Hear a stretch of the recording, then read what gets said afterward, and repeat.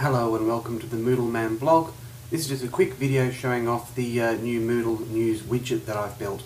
Uh, if you want to grab it, you can download it from the post. If you click onto Moodle News Dashboard widget on the blog, sorry my internet's a little slow, uh, you'll be able to grab it from a link that says click here to grab the widget.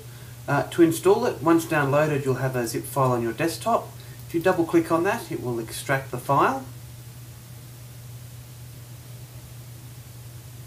and once extracted you'll have your widget. Double clicking on it will install it into your uh, into your dashboard. There we go, click to install and you'll have it here. So I'm just going to go keep.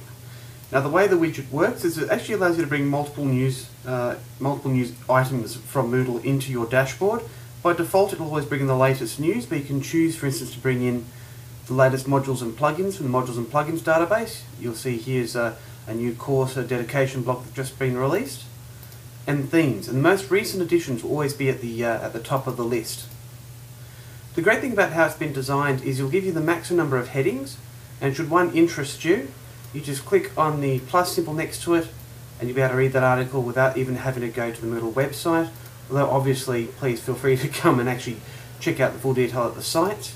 Um, again, here we go, themes. To go on the Modalis Tango theme, you can see there's a, a, screenshot of that theme and information about it as well as uh, download links.